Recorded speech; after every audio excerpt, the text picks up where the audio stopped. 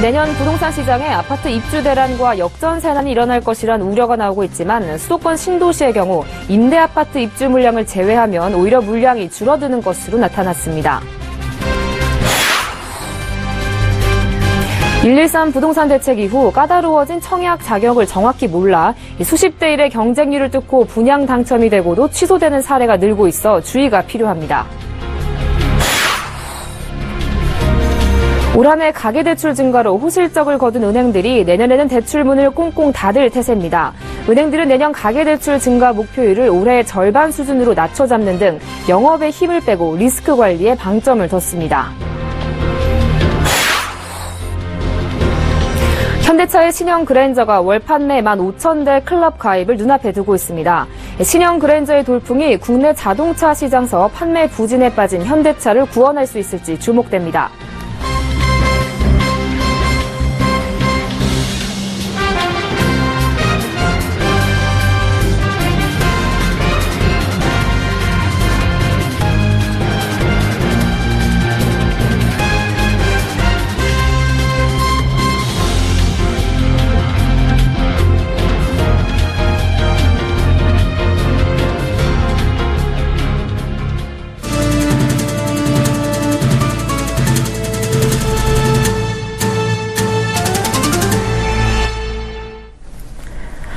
여러분 안녕하십니까. 27일 화요일 생경제 현장 오늘의 주요 뉴스입니다. 요즘 부동산 시작을 놓고 연일 아파트 입주 대란, 역전세난 우려가 쏟아지고 있습니다. 내년에 전국에 걸쳐 새 아파트 입주가 38만 가구에 달하고 내후년까지 합치면 78만 가구가 된다는 게 주된 근거인데요. 하지만 수도권 신도시의 경우 대부분 저소득층만이 들어갈 수 있는 LH 임대 아파트 입주 물량을 제외하면 오히려 올해보다 내년 입주 물량이 줄어드는 것으로 나타났습니다. 지방 역시 지역별로 상황이 다를 것으로 보이는데요. 정창신 기자가 취재 했습니다 경기도 성남시에 있는 LH 국민임대 아파트. 전용 50제곱미터의 경우 임대 보증금이 1억 7천5백만 원, 월임대료 14만 1천 원, 임대 기간 30년으로 임차 비용이 일반 아파트에 비해 훨씬 쌉니다. 이 임대 아파트에 살려면 세대 원 전원이 무주택자이고 4인 가구 기준 월 평균 소득이 377만 5,200원 이하여야 합니다. 이런 임대 아파트 물량을 제외하면 내년 위례와 동탄, 한남미사 등의 입주 물량은 올해에 비해 오히려 줄어듭니다. LH 임대 아파트는 일반 전세 아파트와 다른 시장인 점을 감안하면 수도권 신도시에서 2017년 입주 대란 우려는 설득력이 떨어진다는 얘기입니다. 서울경제TV가 LH에 의뢰해 내년 수도권 신도시 아파트 입주 물량을 분석한 결과 LH 영구, 국민, 공공임대를 제외한 입주 물량은 23,816가구, 올해 25,690가구에 비해 7% 줄어든 수치입니다. 반면 LH 임대를 합칠 경우 총 입주 물량은 올해 32,833가구에서 내년 38,702가구로 17.9% 늘어나게 됩니다. 내년 LH 임대 아파트 물량이 가장 많은 곳은 양주 신도시로 LH 임대를 뺀 입주 물량은 3,351가구에서 183가구로 대폭 줄어듭니다. 일반 입주 아파트가 거의 없는 셈입니다. 파주 운정 신도시 역시 LH 임대를 제외하면 일반 입주 아파트는 5,500가구에서 2,438가구로 절반 가까이 감소합니다.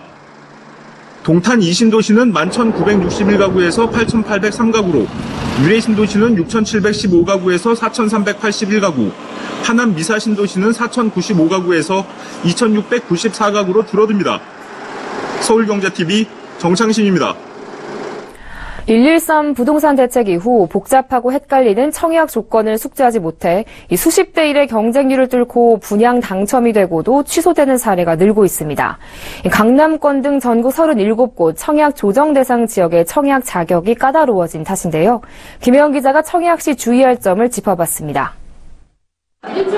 평균 12대 1의 청약 경쟁률을 기록한 서울 서초구 잠원동 래미안 리오센트. 쟁쟁한 경쟁률을 뚫은 146명 중 32명은 기쁨도 잠시 당첨 취소 통보를 받았습니다. 나흘 만에 완판에 성공했던 송파구 풍납동 잠실 올림픽 아이파크도 당첨자 92명 중 13명이 부적격 당첨자로 밝혀졌습니다. 이처럼 부적격 당첨자가 늘어난 것은 11.3 부동산 대책 이후 바뀐 깐깐해진 청약 자격을 잘 몰랐기 때문입니다. 부적격 당첨자는 당첨이 무효 처리되는 것은 물론 1년간 청약 자격이 박탈돼 손해가 이만저만이 아닙니다. 과거보다 규제가 까다로워졌기 때문에 부적격 당첨이 나지 않도록 주택수 여부나 과거 당첨 여부를 따져보실 필요가 있겠습니다. 11.3 대책 이후 청약을 하려면 무주택자 세대주인 동시에 세대원 모두 지역과 면적에 따라 1년에서 5년간 당첨 사실이 없어야 합니다. 서울, 과천, 성남시 등 수도권 과밀억제 권역에서는 85제곱미터 이하에 당첨된 적이 있으면 5년, 85제곱미터 초과는 3년이 부적격, 즉 재당첨 제한 기간입니다. 부산시 해운대 연재 등 민간 택지와 세종시 공공택지 분양에서는 85제곱미터 이하는 3년, 85제곱미터 초과는 1년이 재당첨 금지 기간입니다. 전국 37개 청약 조정 지역 외에 나머지 지역은 이런 제한이 없습니다. 다른 분양단지라도 당첨자 발표일이 같은데 두 군데 이상 당첨되면 모두 취소가 되는 점도 유의해야 합니다. 서울경제TV 김혜영입니다. 올 한해 가계대출 증가로 호실적을 거둔 은행들이 내년에는 대출문을 걸어 잠글 준비를 하고 있습니다. 내년 가계대출 증가율을 올해 절반 수준으로 관리할 계획인데요.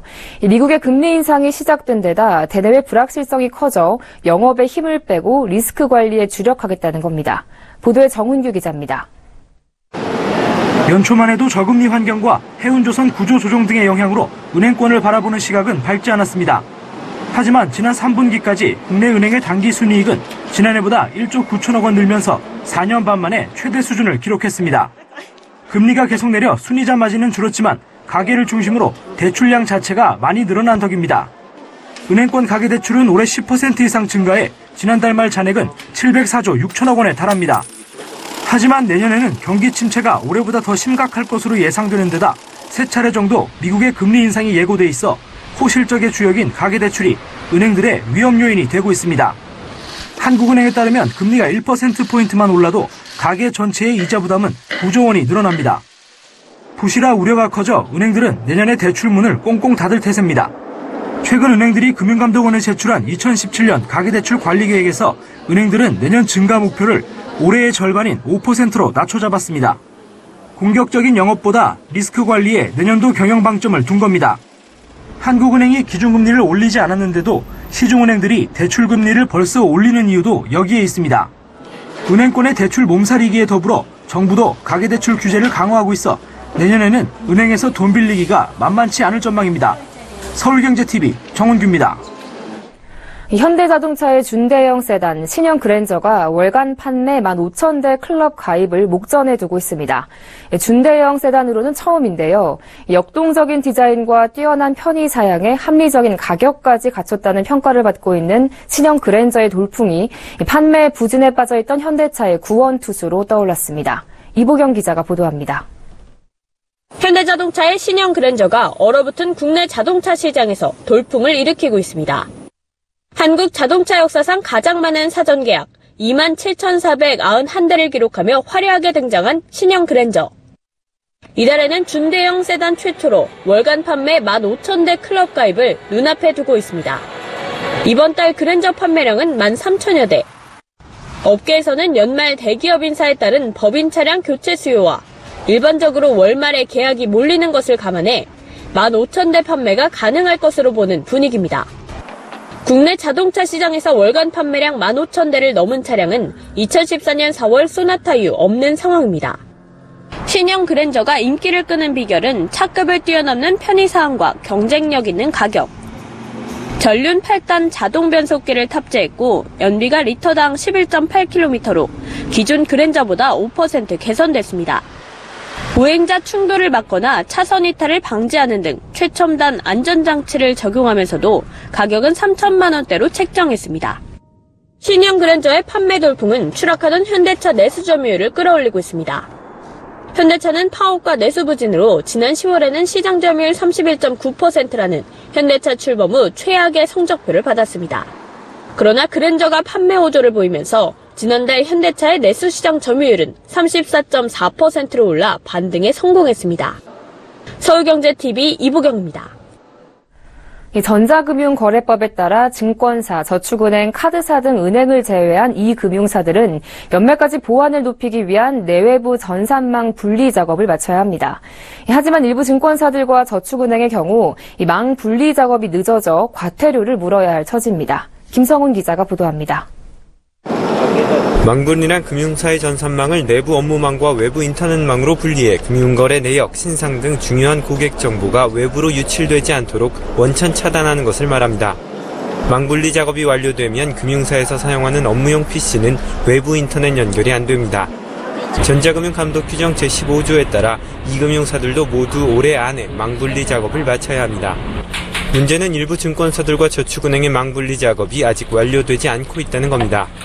금융투자업계에 따르면 대형 증권사 12개 중 9개사는 망분리를 완료했지만 유진, 현대증권 등 3개사는 내년 3, 4월에서 늦으면 상반기를 목표로 작업하고 있습니다.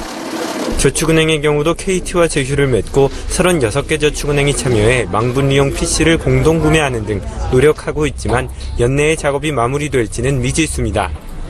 망분리 작업을 연내 완료하지 못하면 전자금융거래법에 따라 5천만 원 이하의 과태료가 부과됩니다. 과태료 대상이 될지 여부는 금융위원회에서 유권 해석을 내려 결정하지만 수년 전부터 공지한 사항이기 때문에 일정이 촉박하다는 것은 핑계라는 것이 금융당국의 의견입니다. 금융당국 관계자는 금융감독원 IT검사실에서 내년 상반기 중에 현장 조사를 나갈 수도 있다며 망분리 완료 시점과 효과에 대해서도 조사할 것이라고 밝혔습니다. 서울경제TV 김성훈입니다. 올해 생명보험업계 인수합병 시장에는 70조 원에 가까운 매물이 쏟아져 나왔는데요. 매물은 넘쳐났지만 어두운 업황 탓에 헐값에 팔리거나 매각이 무산되는 등 결과는 시원찮았습니다. 앵커 리포트입니다. 투자은행 업계에 따르면 산업은행은 지난 22일 마감한 KDB생명의 본입 차리 무산된 이후 재매각 작업을 보류하기로 했습니다. 산은은 가격 등 인수 조건이 맞지 않아 단독 응찰한 중국계 자본 한 곳을 우선 협상 대상자로 선정하지 않기로 했습니다. 이로써 KDB생명의 세 번째 매각 시도가 무산됐습니다. 올해 생명보험업계 M&A 시장에는 70조 원이 넘는 매물이 쏟아져 나왔지만 이번 KDB생명처럼 매각이 차질을 빚는 경우가 많았습니다. 총자산 16조 원이 넘는 알리안츠 생명은 지난 4월 중국 안방보험에 고작 300만 달러, 우리 돈으로 약 36억 원이라는 헐값에 매각돼 충격을 줬습니다. 게다가 독일 알리안츠 그룹은 안방보험 측에 인수합병 이전 자본 확충을 약속해 11월 500억 원의 유상 증자까지 단행했습니다. 자산 규모 31조 원으로 생보업계 5위인 ING생명도 새 주인 찾기에 나섰지만 난항을 겪었습니다. 주요 매수 후보자인 중국계 자본이 한반도 사드 배치 결정 여파로 인수에 소극적인 모습을 보이면서 매각 작업이 지연됐습니다. 결국 ING생명의 최대 주주인 MBK 파트너스는 내년 2분기 유가증권 시장 상장을 통해 새로운 주주를 찾는 것으로 방향을 바꿨습니다. 올 들어 생명보험업계에 잇따른 M&A 시도가 기대에 못 미친 것은 생명보험 산업에 대한 어두운 전망과 무관치 않습니다. 보험업계에는 2021년부터 부채를 원가평가에서 시가평가로 전환하는 것이 주 내용인 새 국제회계 기준이 도입될 예정입니다. 이에 따라 많은 보험사의 부채가 늘어 자본 확충이 필요합니다. 서울경제TV 정한입니다.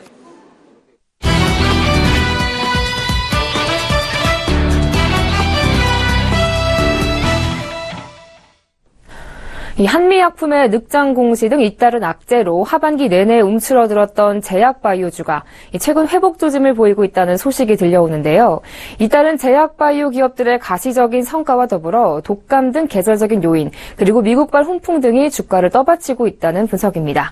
내년 전망은 어떤지 알아보겠습니다. 금융증권부 양한나 기자 나와 있습니다. 안녕하십니까? 네, 안녕하세요. 자, 최근 시장에서 이 제약 바이오주가 회복 조짐을 보이고 있다고요? 네, 한미약품의 기술 수출 계약 해지와 늑장 공시 등 사태 이후로 추락을 거듭하던 코스피 의약품 지수가 최근 들어서 완만한 상승세를 보이고 있는데요. 코스피 의약품 지수는 한미약품 사태 직전인 9월 29일 당시 9,915.64포인트에서 줄곧 추락해 이달 초 6,937.16포인트까지 떨어졌는데요. 어제 기준 코스피 의약품 지수는 전날 대비 0.99% 오른 7,465.91포인트를 나타냈습니다. 특히 최근에는 독감 환자가 급증하면서 백신주 등 관련 주가가 반등폭을 확대하고 있는데요. 한국거래소에 따르면 질병관리본부가 지난 8일 독감주의보를 발령한 뒤 제약바이오주의 주가가 빠르게 상승했습니다. 대표적인 독감 백신 업체인 옥십자와 SK케미칼은 전날 주가가 지난 8일 대비 각각 9.89%, 1.39% 올랐고요. 타미플루의 국내 판매를 맡고 있는 종근당은 같은 기간 15.44%, 43%, 백신 생산 후발주자인 일양약품은 13.45% 상승했습니다. 타미플루의 대체약으로 한미플루를 생산하는 한미약품도 8.05% 올랐습니다. 네, 이 제약바이오 기업들이 하나둘씩 가시적인 성과도 내고 있다면서요. 네, 그렇습니다. 올해 제약 바이오 업계는 어려운 상황 속에서도 대규모 기술 수출을 이어갔는데요. 보건복지부에 따르면 올해 R&D 투자 비율이 높은 혁신형 제약 기업의 해외 기술 수출은 8건을 기록했고요. 그, 금액으로는 비공개 금액을 제외하고 17억 1천만 달러, 하나 약 2조 원에 달하고 있습니다. 또 미국과 유럽에서 4건의 허가를 취득하는 등 선진국 시장 판매도 본격화하고 있습니다. 셀트리온이 항체 바이오 시밀러인 램시마를 미국 식품의약국으로부터 허가받았고요. 두 번째 바이오시밀러인 트룩시마 역시 유럽의약품청으로부터 허가를 앞두고 있습니다. 또 삼성 바이오로직스의 자회사인 삼성 바이오에피스의 첫 바이오시밀러 베네팔리가 유럽의약품청으로부터 SK케미칼의 혈우병 치료제 앱스틸라가 미국 식품의약국으로부터 허가를 받았습니다. 또 주목되는 점은 최근 셀트리온 헬스케어 등 대형 바이오 기업들이 잇따라 상장을 추진하고 있다는 건데요. 셀트리온 헬스케어는 셀트리온이 개발 생산하는 바이오 의약품을 독점 판매하는 글로벌 바이오 의약품 유통회사입니다. 지난 23일 코스닥 시장 상장을 위한 주권 예비심사 신청서를 제출했는데요. 지난해 매출액 4,234억 원, 영업이익 1,119억 원을 기록했고 총 발행 주식은 신청일 기준 1억 1,208만 4,120주입니다. 현재 코스닥 시장 시가총액 2위를, 2위인 카카오를 제치고 코스닥 시장에 2위로 입성할 것으로 예상되고 있고요. 셀트리온 헬스케어가 상장 절차에 들어가면서 지주회사인 셀트리온의 주가도 뛰고 있습니다. 이 같은 소식들이 침체된 바이오 시장에 활력을 불어넣을 것으로 기대되고 있습니다. 네, 그렇다면 이 제약 바이오주의 내년 전망은 어떻습니까? 네, 내년에는 반등을 기대하는, 기대하는 의견들이 많이 나오고 있는데요. 보통 연초에는 제약업종을 중심으로 한 중소형주가 강세를 띠는 경향이 있고 한미약품 사태도 마무리 국면에 접어드는 만큼 제약 바이오주의 상승이 기대된다 는 겁니다. 또 미국 제약 바이오주의 반등도 국내 관련 업종에 긍정적인 영향을 미칠 것으로 예상됩니다. 트럼프 미국 대통령 당선인의 제약 정책에 대한 안도감 등으로 최근 미국 제약주가 상승세를 보이고 있는데요. 국내 제약주도 이에 후행 반응하는 흐름을 보이고 있다는 분석입니다. 물론 실적 펀더멘탈에 기반한 옥석 가리기는 필요하겠습니다. 대형주에서는 꾸준한 성과를 보여주고 있는 셀트리온이 램시마 점유율과 셀트리온 헬스케어 상장, 트룩시마로 인한 매출 성장 등 으로 내년 상반기 주가가 기대되고 있습니다. 중소형주에서는 올해 계절 독감 백신을 완판한 SK케미칼과 녹십자의 4분기와 내년 1분기 실적 기대감이 높은 상황입니다. 네, 최근 이 제약 바이오주가 회복되는 조짐을 보이고 있는데요. 내년에는 가시적인 성과와 함께 주가가 본격 기지개를 펼 수 있을지 주목됩니다. 지금까지 금융증권부 양한나 기자와 함께했습니다. 오늘 말씀 잘 들었습니다.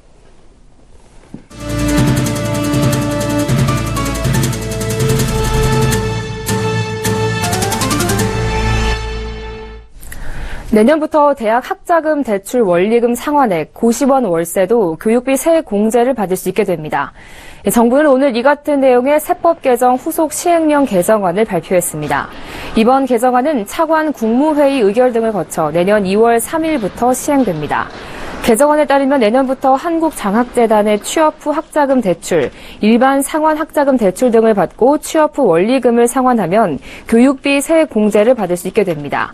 지금은 근로소득자 본인이나 자녀 등 기본공제 대상자가 해당 연도에 지출한 교육비에 대해서만 세액 공제가 적용됐습니다. 고시원에 월세로 입주한 경우도 세액공제 대상에 포함됐습니다. 반면 저축성 보험의 비과세 혜택은 축소됩니다.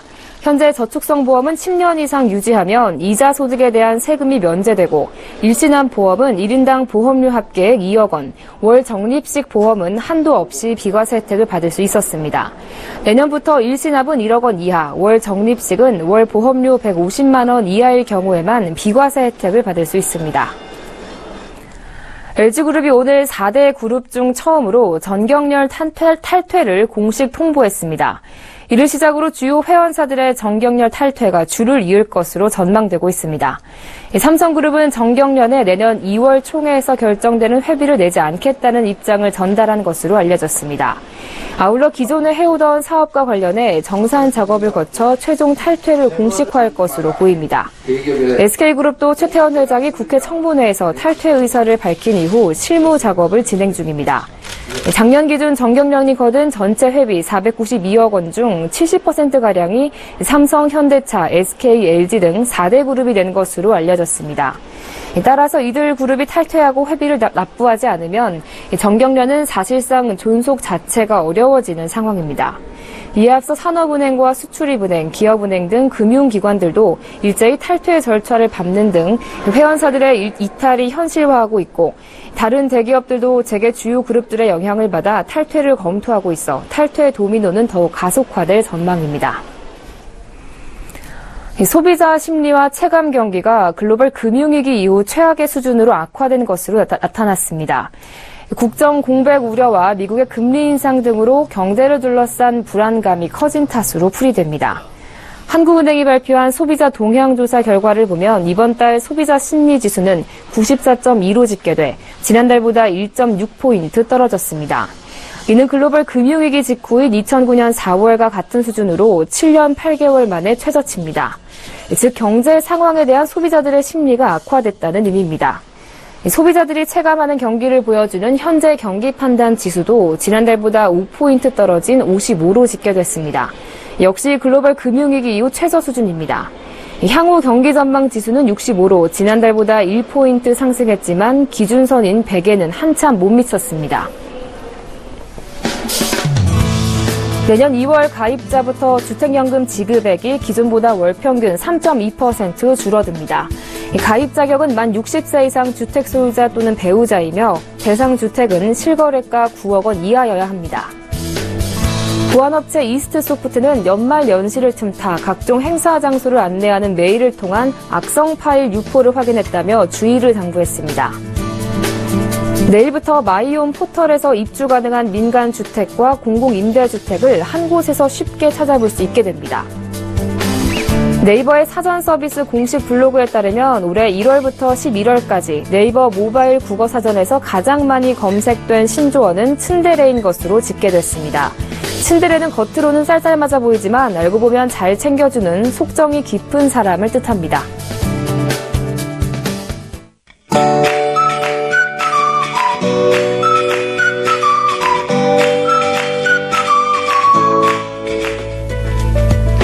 안녕하세요. K웨더 라이프스타일 예보 윤재양입니다. 강원 영동 지방으로 많은 눈이 이어지고 있습니다. 진부령에는 40cm가 넘는 눈이 쌓였는데요. 강원 영동과 경북 북부 동해안은 계속해서 눈구름대의 영향을 받겠습니다. 앞으로 3에서 8cm, 강원 산간에는 최고 15cm 이상의 눈이 더 쌓인 뒤 내일 아침에 점차 그칠 것으로 예상됩니다. 그 밖에 전국은 내일 대체로 맑겠습니다. 오늘 아침 서울이 영하 1.9도로 어제보다 3, 4도 가량 낮았는데요. 밤사이 기온이 크게 내려가면서 내일 아침은 영하 9도까지 떨어지겠고요. 찬바람이 강하게 불어서 체감 온도는 더 낮을 것으로 보입니다. 든든한 옷차림 하셔야겠습니다. 강한 추위는 금요일까지 이어진 뒤 주말에 풀리겠습니다. 내일은 중국 산둥반도 부근에서 남동 지나는 고기압의 영향을 받겠고요. 강원 영동과 경북 동해안은 동풍의 영향을 받다가 점차 벗어나겠습니다. 자세한 지역별 날씨는 나절 예보로 알아보겠습니다. 중부지방 대체로 맑겠습니다. 아침에 서울과 수원, 춘천 영하 9도, 대전 영하 8도까지 떨어져 매우 춥겠습니다. 동해안에는 눈이 내린 뒤 아침에 그치겠습니다. 이후 점차 맑은 하늘이 드러날 것으로 보입니다. 남부지방 맑은 하늘이 이어지겠고요. 아침 기온 광주와 대구 영하 4도, 낮 기온 광주 5도, 부산 9도로 예상됩니다. 물결은 모든 해상에서 최고 4, 5m로 매우 높게 일다가 차차 낮아지겠습니다. 올해 마지막 날과 새해 첫날 큰 추위는 없겠습니다. 새해 첫 해돋이는 구름 사이로 감상할 수 있겠는데요. 중부보다는 남부 지방의 구름 양이 더 적겠고요. 특히 부산과 울산, 포항 등 영남 동해안 지역에서는 선명한 해돋이를 감상할 수 있겠습니다. 날씨였습니다.